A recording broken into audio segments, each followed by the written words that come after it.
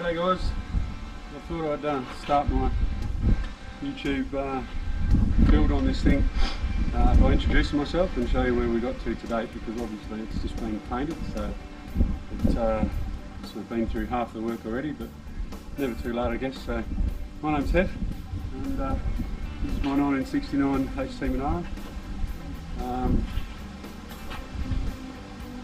nuts and bolt resto. Come over here the heart of it but a um,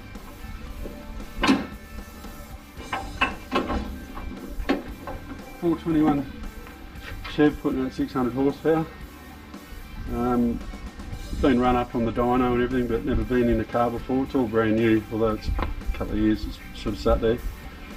So I'll just run you around the build and show you what the plans are and what we've done. Um, starting in the engine bay, we've smoothed the guards down and um, uh, smooth the firewall a little bit. Wiper relocation kit to go in there. Remove the um, heater, heater box, smooth the inner guards along here as well. Smooth the radiator support panel. Have this modified and I'll get that powder coated probably. Um, rebuilt the front end, put Wilwood's disc brakes in there. Uh, four piston calipers, 280 mil.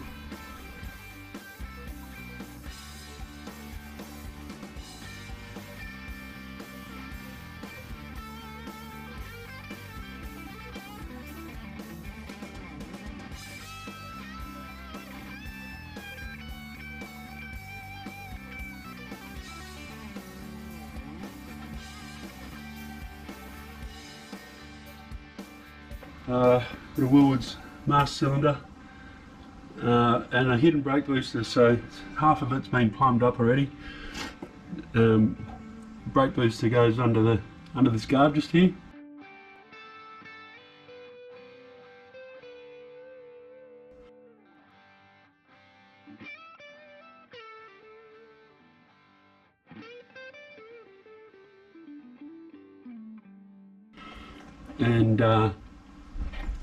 there you can see just down there a little connection. That's for the um, that's for the uh, vacuum hose to connect to the back of the carby because I don't want any um, cables or wiring or anything in the engine bay not that you can see.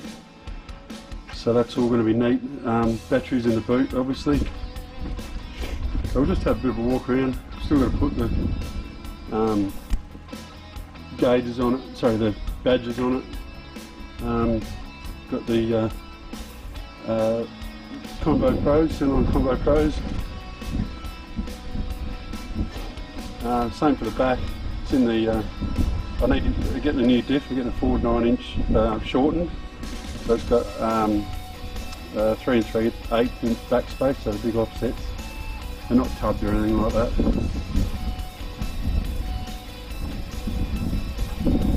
The paint will come out really good. Really stoked with that bare metal, back to bare metal. So this is the vacuum hose for the um, for the for the uh, for the brakes for the brake booster. Got a Tremec 5 speed in there. Had to modify the tunnel. Transmission tunnel had to be cut out back to here and uh, regrafted in so you can fit the, the Tremec in there.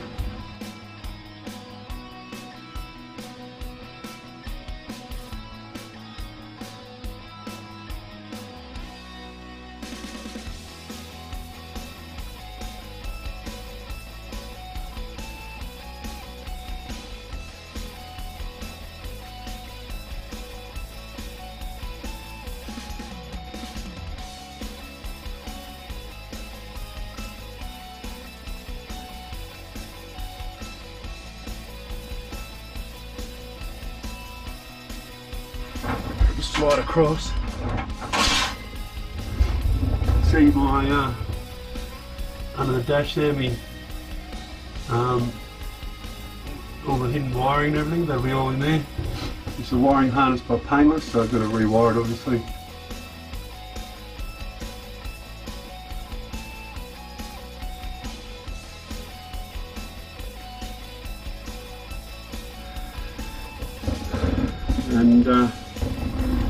Wiring goes under the under the guard to the front.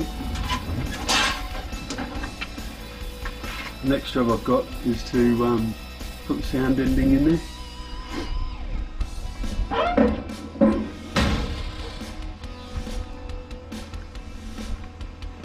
Two inch um, reverse cow scoop, bonnet scoop.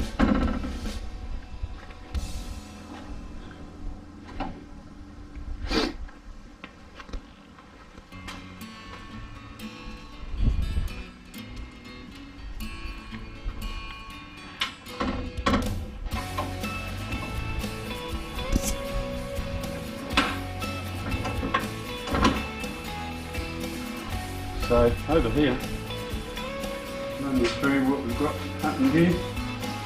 These are some of the parts. As we move back a little bit, if the screen disappears, just touch it. Some of the parts. So this is the battery tray for the boot. These are all the nuts and bolts. They've all been recad plated. They're all, um, all redone, so they'll all come up Mickey else.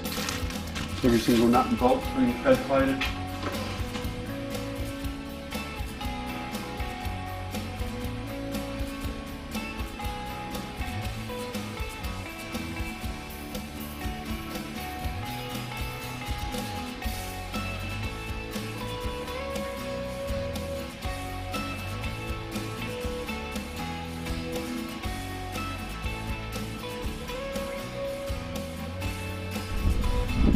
So every nut and bolt I've had redone. These are a whole heap spare ones that I had that re re cad plated.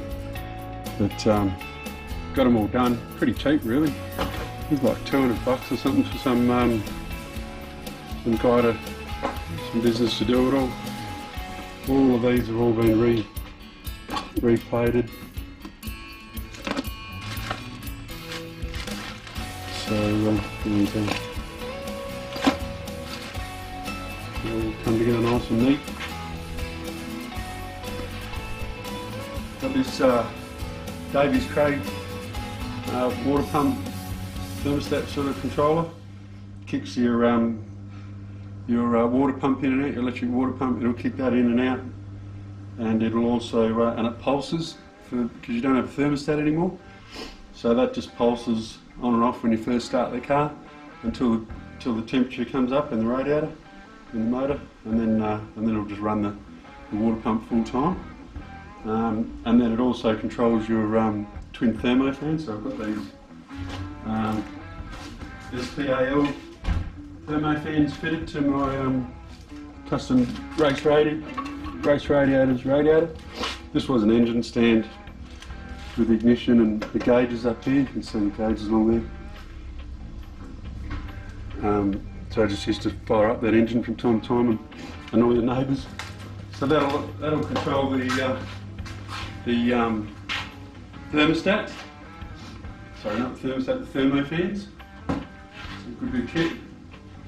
Um, tank resealing kit. Got to get around to resealing the tank. That's the painless wiring wiring harness that we had. Some of the fuel fuel log and all that sort of stuff um, with all, all the all these bits come with a kit, um, filter and all sorts of stuff in there. This here is the um, Aeromotive um, kit for uh, the fuel pump. Um, so that gets retrofitted to your fuel tank. So and it, it gets, you can adjust the height of it. So it's a submersible fuel pump, runs a bit cooler and um, also um, uh, not as noisy as well. So uh, this is all the sound deadener. Get that, um, got the car builder stuff. So that'll be the next job actually. Next episode will be me installing the sound deadener. Uh, I've had the um, all the gauges and sorry the dash and everything re redone. This all brand new. Will Smith.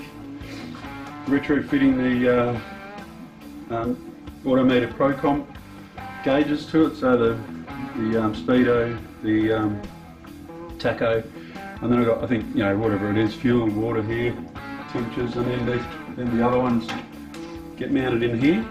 Decided to put them in there, get rid of where the stereo would be. I'll probably hide the stereo somewhere. Just have one of those hidden ones that you got a little remote control for it or something like that. Um, brand new hood lining to go in. New headlights obviously, gauges, that sort of stuff. Um, the headers down here, they were custom made headers.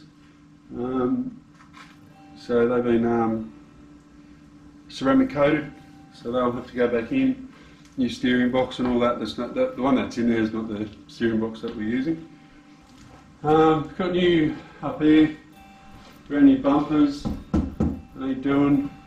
Got to um, fit them, and obviously all the parts, windows. But I've got to check all the um, uh, all the chrome work on those windows, see if they need re-chroming or not. I'm not sure if they need re-chroming, but I've had all the stainless polished, uh, all the stainless trims for the car, so I'm not putting any around the, the wheel arches. I'm just putting um, just putting the one across the front of the bonnet. We've got the whole lettering to go there, uh, and then just badges on the side and the rear. Um, and I'm not putting any other uh, stainless on it. Uh, but I had them all polished and I'm not really happy with it you pay bloody 1400 bucks for some clown to do it for you and you could have done a better job yourself so I'm just going to buy a, a bloody buffing wheel and uh, and do it myself. I'll go over it because he hasn't done a very good job. I'm disappointed actually. I've Just under there is all the bloody stainless steel, it's all been polished and whatever, although like I said to you the other day I wasn't real happy with it. Need to go over there and um, go over it all again. Got new carpet in the for, for it already, that's in the spare room. Also got brand new carpets, front and back there. Seats have all been redone. I've got to get new door cards, um, so the door cards will get redone. I should have got the uh, centre console um, restored when I got the dash and that restored, but for some reason I didn't, I forgot or whatever, so I've got to get that bloody restored. And uh, got all the window winding mechanisms and, and whatever in there. I've got to put kits through all that. Um, so there's a lot of work to do. Um, you know, still a lot of work to do. So uh, I thought I'll just uh, make a YouTube video and um, put it up there. And if you guys like it, very good. Get something out of it.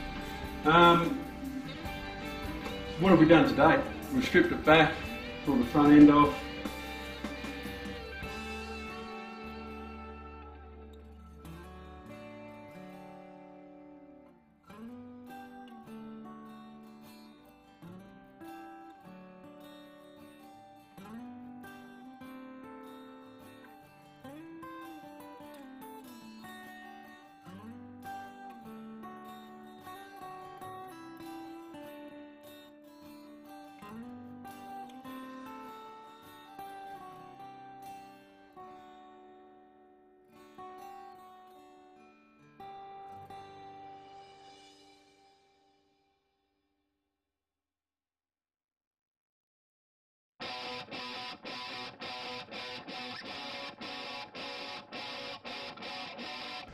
As I say, everything went back to bare metal. Didn't want to move around here, Jack. Uh, went back to bare metal.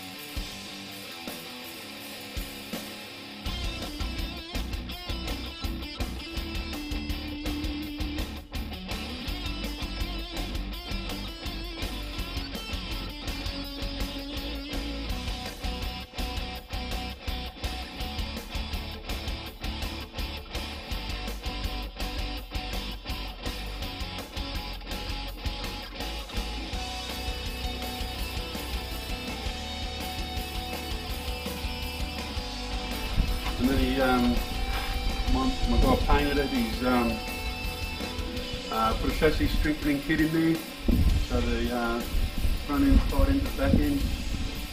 Um, I think that's about, about it. Oh, I've got a heap of photos, like these brand new guards, the, um, the other guards are sort of rusted out down the bottom, and on repair. So these are from Rare Spares. The bonnet's a Rare Spares bonnet. Um, out down the bottom as well. Um, here didn't have rust, you know, the common spot for rust, it didn't have rust, but um, it, had that much accident damage. All of this here has been rebuilt out of metal because that was all fiberglass and bog, it about this thick. I'll, I'll drop some photos down and I'll show you. But uh, that was disgusting.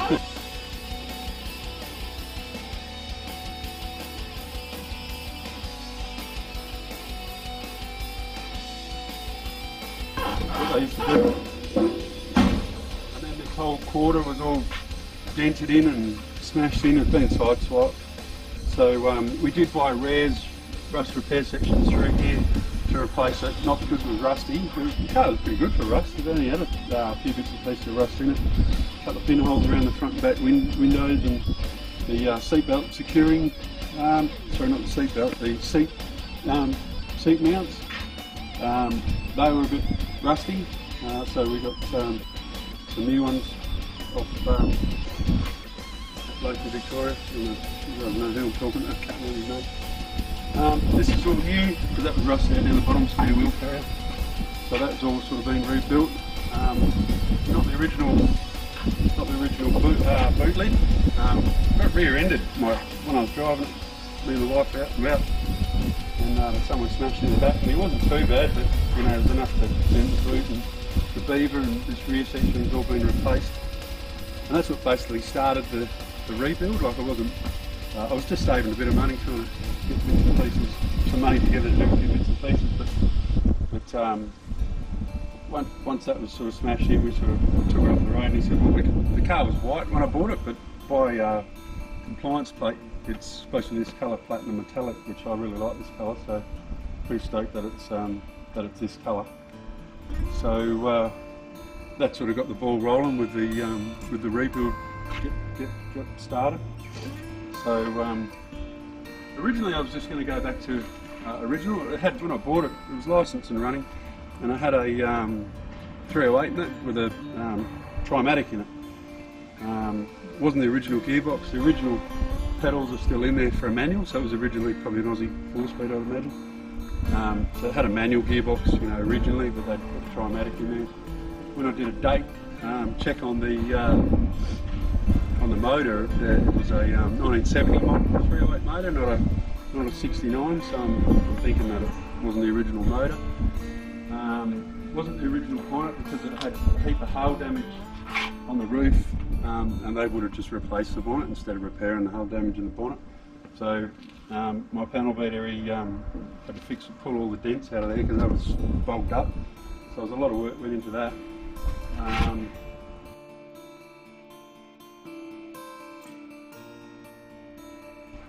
so uh, that's all all smooth now. So this door wasn't the original door; it had been side swapped as well. On this side as well, there's quite a lot of accident damage right the way through, but good for us, so you can't win. But anyway, um, the door was maroon on the inside, so not the original door. So when I was going to go, um, when I was um, planning on doing it and, and going back to um, original, when I worked out it wasn't the original bonnet, wasn't the original door, wasn't the original boot. The interior wasn't the original interior, it was um, supposed to be Goya red, but I'm staying with the black. Um, my seats are all black. Um, the uh, motor wasn't the original motor or gearbox or whatever. And that's how I got to where I am today. And I just thought, I'm just going to build what I want to build, um, which is a toughie. Just thought I'd um, give you a little update on. Uh, I forgot to tell you about the motor really, so I thought I'd um, give you some uh, information on the motor if you're interested. Uh, did tell you it was um, 421. We've uh, built to 600 horsepower, but um, just the guts of it. It's got a um, it's a dart block been struck out. It's uh, it's got um, oh, there's the dog. Shush. It's got um, scat crank, Callies um, uh, rods, uh, CP bullet pistons, Brodix Dragon Slayer head uh, with solid roller cam. So um, really looking forward to getting that happening, get it, get it running and get it driving, especially with that um, manual Tremec gearbox behind it. Should be a bit of fun, I think. So um, yeah, just just thought I'd uh, give that update. It's the um, Quick Fuel 850, and it's got uh, MSD um, ignition in it. That's over here, so it's a bit dark. I'm turn the light on. So um, yeah, MSD six digital 6AL ignition, and uh, this bloody thing blaster SS MSD coil. That's going to go under the dash. This is going to go in the um, in the glove box, and uh, that's pretty much tough mounts. Um, when we built this, you can see it's got that massive ASR sump under there. I don't know if you can see that, if that's turned out very good. Big race sump. This um, steering link goes through the centre of it. And with that big race sump, there was just massive clearance issues under here. So what we did is we scalloped that down a bit. We've trimmed all this up, cut that, dropped it down, re-welded it back in, come up looking Mickey Mouse. So for all intents and purposes, you wouldn't you wouldn't even know that that's been done, which is good.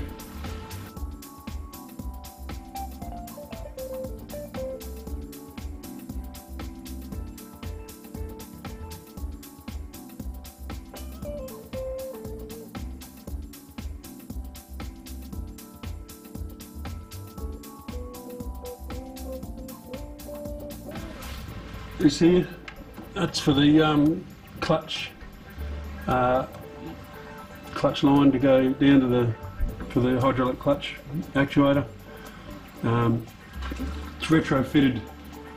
Uh, Wilwood's retrofitted a um, slave cylinder right at the bottom of the clutch pedal, and uh, and then that's um, it's got a, a um, reservoir under the dash, under the, the kit that'll go up under the dash.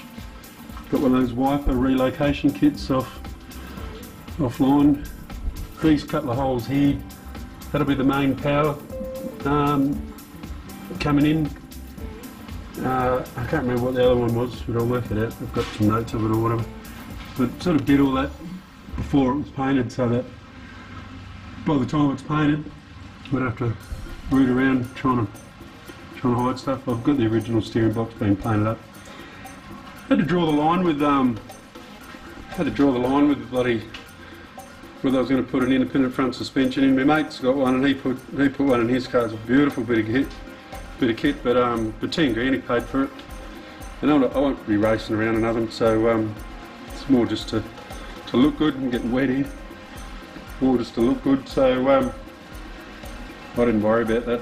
I'm not going to worry about it with the IFS front end, even though they look really cool. But uh, the bonnet hinges, I think they're the Aeroflow ones. Um, it's actually fiberglass. I think I told you about the bullets being fiberglass, but it's all been boxed in and, and whatever. But um, did a really good job of that, the panel guy. So uh, one of the other jobs I've got to do is um, got to get these are the, the bumpers, front and back bumper, and going to pull them off, wipe them down because they've got a thin smear of oil on them to stop them rusting, wipe them down, and then got some POR 15 in a little tin to paint the, the back of them just to um, seal them up a bit because they're not chromed on the on the bloody uh, on the inside. We've got lots of new rubbers and stuff, new seals and that. Got to put together there. All new bloody clips and badges and all that sort of stuff to go on. We've got tops of the doors. They got to get reupholstered. I'm keeping the drum brakes on the back because um, with the shortened diff, with the uh, calipers will can um, the uh, the calipers can uh, foul on the chassis rail, the shortened diff, so I'll just keep the uh, keep the, uh, the old drum brakes. Little new car cover. Pretty good actually, it's good fit. Stitched up covers. Got a um, what call it? Sandblasting box to clean up stuff. New um, new spray gun, so I'll be able to paint the petrol tank and things like that.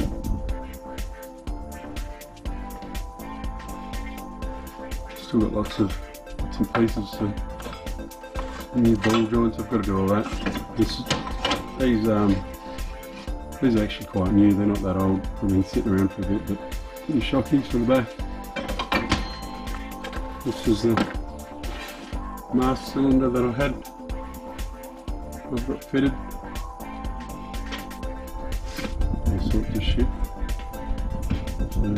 Need to get into it. Install these things, open them up, clean them up. Had a few different sets. They all seem to pit, as everybody knows. But um, I'll tidy them up. Get them as good as I can.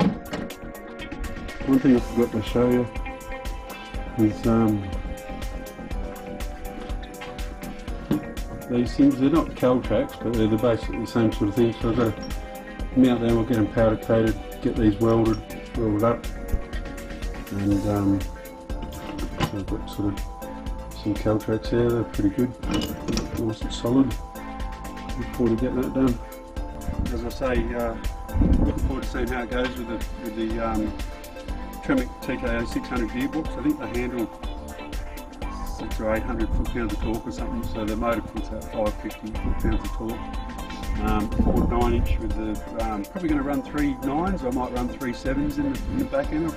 Just doing a bit of research, we haven't looked at a few um, uh, uh, uh, what do you call it, calculators online that calculate your um, uh, ratios and that when you're running, so it's on the cam when it's um, when you cruise around. So that, that Tremec gearbox, so it drops into fifth gear and it's a um, 0.64 final drive in in um, in fifth gear. So um, I think at about 100 kilometres an hour with the 15 inch wheels uh, and three nines, it should be about 2,200 revs. So I'm pretty happy with that. Um, pretty good. Um, so I'll drop you some photos um, after this and during it, um, just of the, the work that was required to get it to where we are now. And my idea is just to um, just to film as I'm doing stuff, and uh, hopefully you guys get some interest out of it.